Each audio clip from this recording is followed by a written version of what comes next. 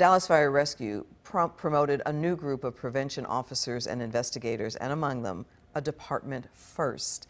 Fox 4's Natalie Solis at Moody Performance Hall in downtown Dallas, where today's promotion day ceremony took place. Hey, Natalie. Hi, Clarice. Today was 18 years in the making for Julie Kumar, an unexpected career path encouraged by her father. And what Dallas looks like today, Captain Julie Kumar.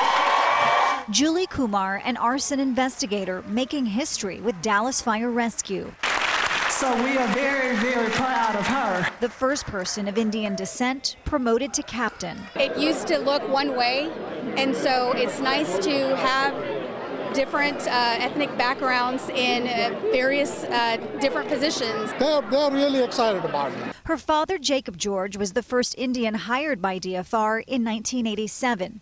Today, he witnessed Julie Senior Fire Prevention Officer Jamie George. and her younger sister, Jamie George, get promoted. I encourage them because I was with the City of Dallas Fire Department for about 27 years. she's a rock. So she's been solid, and you know, I love her for it. So this is my family right here. Julie, also a wife and mother to two young girls.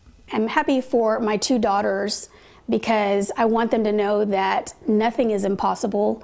Whatever their heart's desire is to do when they grow up, I don't want them to feel like they have any limitations. She says she never imagined she'd make a career with the fire department, but she hopes she'll inspire others That's like maybe something that I want to do one day. to step outside their comfort zone and do something great. But you never know what you can accomplish, and you never know what's out there if you don't try different things. So I think I'm a true testament to that.